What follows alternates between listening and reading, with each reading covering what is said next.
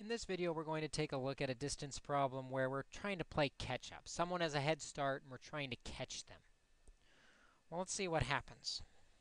What we're going to do to help set this up is we're going to remember we have to add the head start to the time of the person with the head start because the person with the head start's been traveling longer, so we need to add that time. And the idea here with playing catch up, well, here, let me Let's see here. I don't want this box here.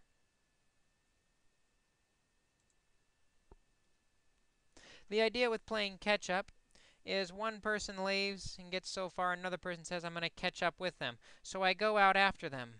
But as I go, the other person keeps going, and so we end up with this total distance between the two of them as being exactly the same neither one travels further. One travels faster, one travels longer, but the distance is the same when they catch up because they both start at the same spot and end at the same spot. So to help set this up, we've got a distance on top and a distance on the bottom. And remember, distance is rate of the first person times the time of the first person. And on the bottom, rate of the second person time of the second person is equal to that distance.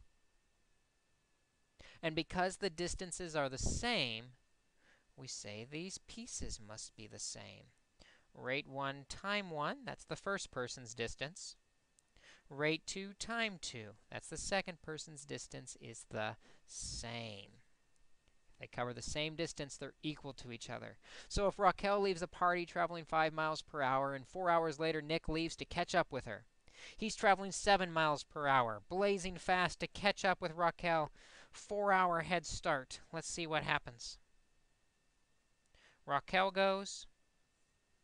Nick goes and catches up with her. Remember that distance is rate times time.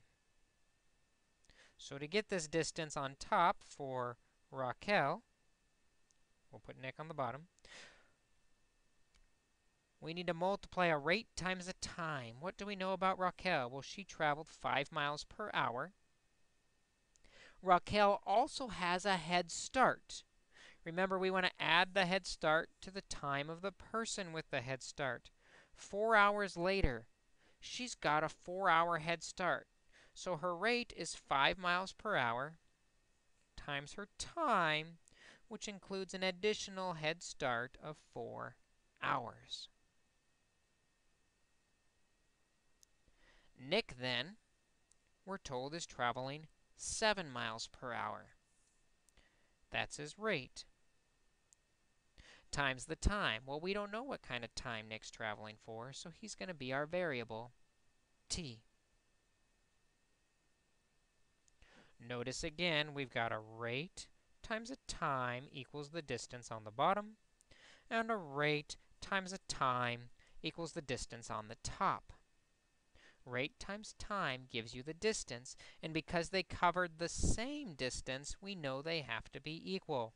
Raquel's 5 times t plus 4 must be equal or the same as Nick's 7t. We now have an equation we can solve by first simplifying or distributing, giving us 5t plus 20 equals 7t. Get the variable on one side by subtracting the 5t from both. This gives us 20 equals 2t. Finally, divide the both sides by 2, getting the time alone is equal to 10.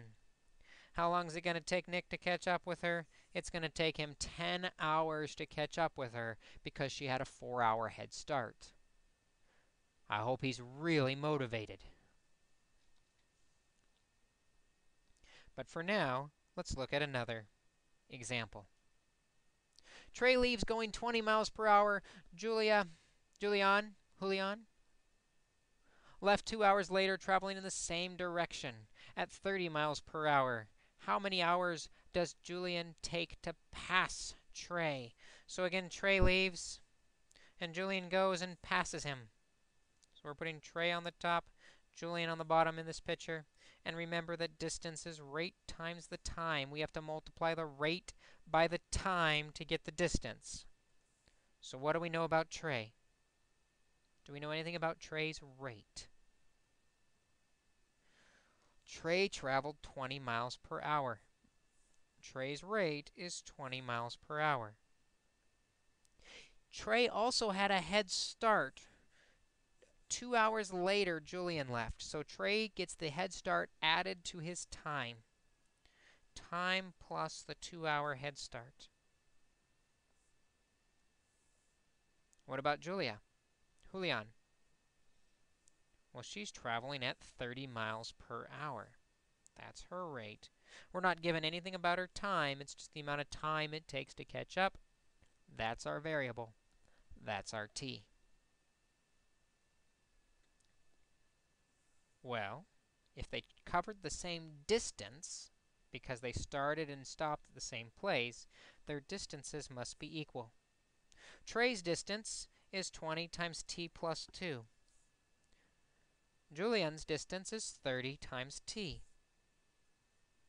We now have an equation we can solve, which we found by multiplying rate times time. Rate times time. Distribute the 20, giving us 20t plus 40 equals 30t. Get the variable on one side by subtracting the 20t's. 40 equals 10t. And finally get t alone by dividing by 10. She is going to pass Trey after 4 hours.